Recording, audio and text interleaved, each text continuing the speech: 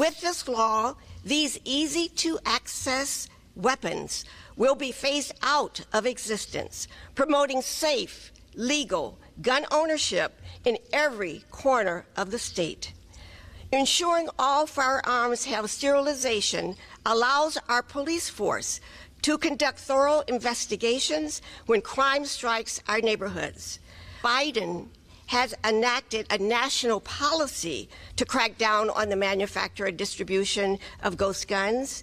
His measure does not go far enough. This ceremony, which brings us all here today, marks a day of celebration for what has been accomplished, and it is a promise of what is to come. This is only a piece of our anti violence efforts.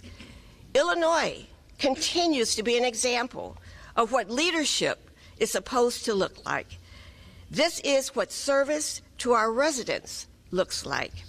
With this legislation, I am eager to see communities begin to rebuild. Oh my goodness. Well, let me just say that there's there's nobody who fought harder.